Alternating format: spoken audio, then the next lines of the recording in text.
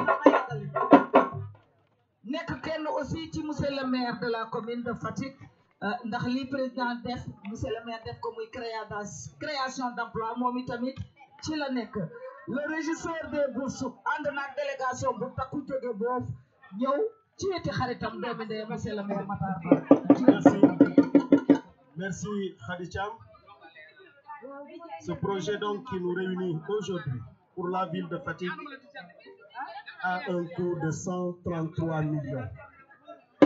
Ce projet pour les sept bus de Fatick avec deux lignes va créer 35 emplois directs.